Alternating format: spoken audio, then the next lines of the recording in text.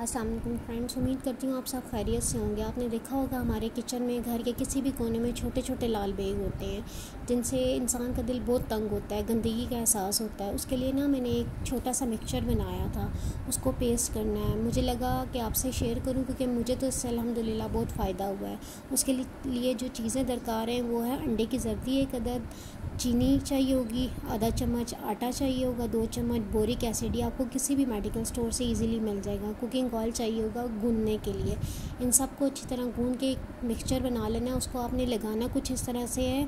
कि किचन के दरवाज़े के पीछे लगा लें, अलमारी के नीचे लगा लें, मार्बल के नीचे लगा लें।